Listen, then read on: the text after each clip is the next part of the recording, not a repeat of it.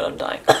hey guys, so I've already done my base as we can tell. I said that in every video, so I'll move on.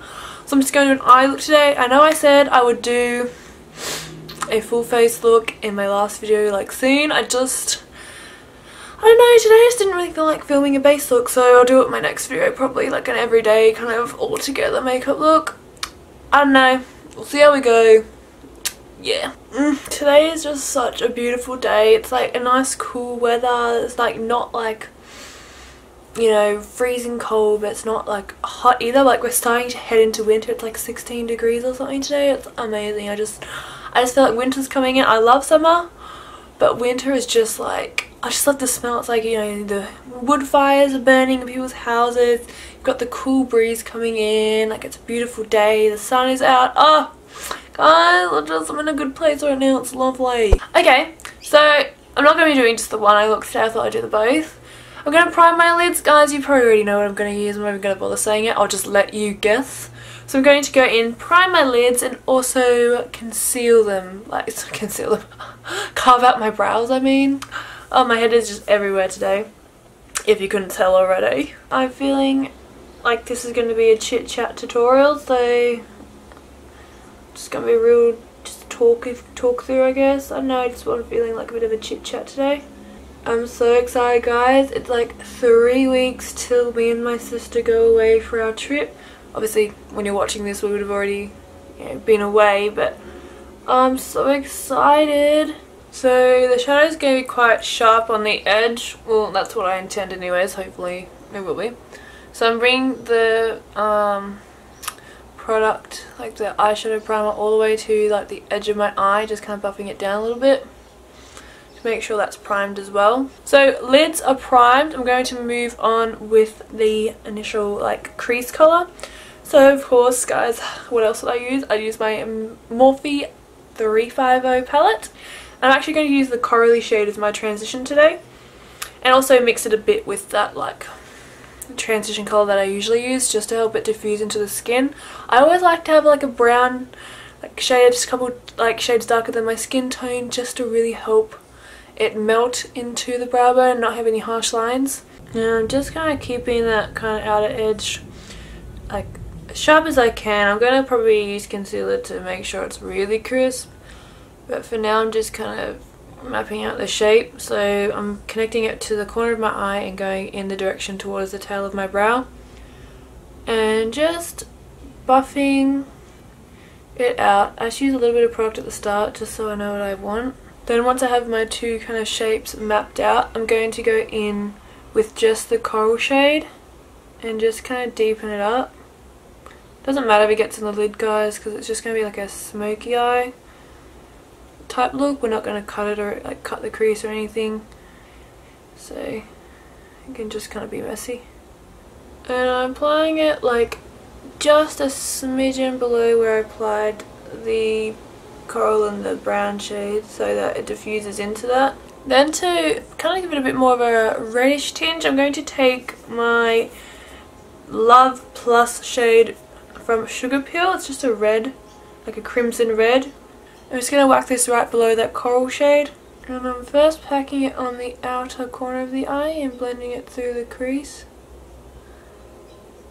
Sorry about the lighting changes guys, it's just the cloud. Like it's a bit windy today like I said at the beginning which is nice but it just keeps pushing a few clouds in front of the sun so I feel like it's a bit of a blue undertone to this frame right now but it'll go back to normal lighting. So once I have packed on that red, I want to blend out the edges a bit. So I'm going to take that corally shade on that same soft crease brush and just buff out the edges right from inner to outer corner. Then taking on a petite crease brush, I'm going in and dipping into Bitten and taking that through the outer corner and lower crease area, really deepening it up. And just taking it slightly out from my natural socket to continue that kind of almond shaped eye. And just going in with some of that coral shade to soften the edges a bit. And just taking some of that Love Plus shade as well after I reapplied some of um, Bitten down. Just want to bring it back just a little bit. Mm, these colours are so pretty. Girl. I'm then going to take Curtain Call from Makeup Geek, which is this gorgeous cranberry like foiled eyeshadow. And I'm placing this all over the inner part of the lid, so like from the inner corner all the way to where those other red cranberry shades are. So I'm bringing it about like two thirds of the way across. Like that. Oh, oh that's so pretty. So pretty. Oh, I wish you guys could see like the gorgeous transition from that Curtain Call shade into the outer corners. Oh my god, I love this shade. And I'm just going back in with some of that Sugarpill shade, the Love Plus one. To just kind of bring a bit more of the red in there. And I'll go back in with a bit of Bitten as well. Just on this outer corner to deepen it up a bit. And just help the transition. And then just some of that coral shade as well at the very, very edges to soften and diffuse any harsh lines. Just so that it's nice and soft and smoky. Okay, before we move on to anything else, I'm going to cut along the side edge of my eye, like just crisping it up so it's really nice, sharp and defined. If you had a piece of tape on during this time, then feel free to just remove that I don't think I mentioned before, which I just realised now, you could have used a piece of tape to keep the line nice and defined if you wanted at the beginning, like apply it. Um, but if you do have your foundation on, it's probably not the best trick because it's going to remove your foundation. But if you're doing your eyes first, then a piece of tape will be your best friend. So I'm just going along, following the angle from the corner of my eye to the tail of my brow. And I'm just using foundation. You guys can use concealer if you want to.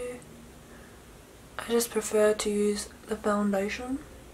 So for my tight line and waterline, I'm going to go in with my Makeup Geek Full Spectrum Eyeliner Pencil in the shade Espresso and place this on those places.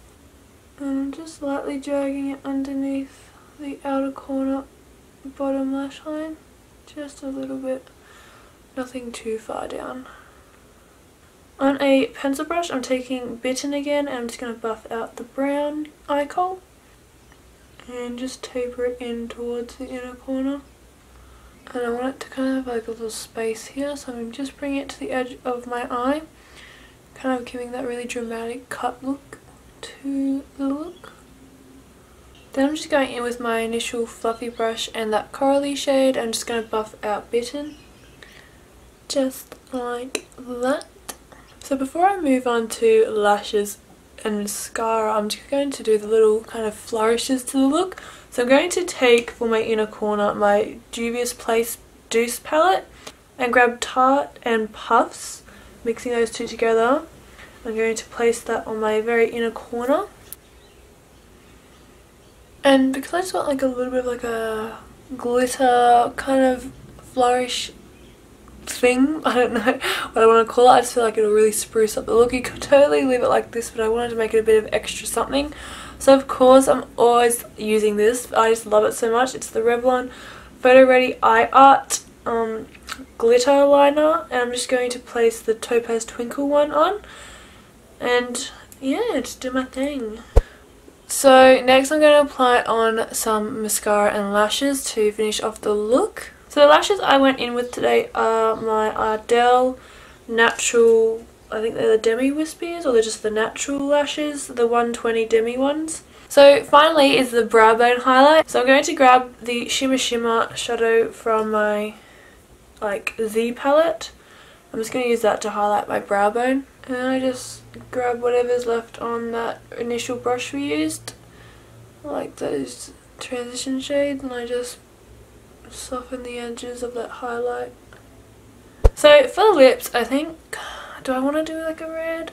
I don't know, like, I'm just not sure. I think a pink glossy lip will look pretty because the inner corner, it's like pinky shimmer. So I'm just going to go in first of all with my Pale Plethora lip liquid lipstick and place that on. Then I'm taking my 3D Effect um, lip gloss from Bourjois Paris in the shade Rose Romantic and placing this over top. So this completes today's makeup look guys, well eyes, eyes and lips.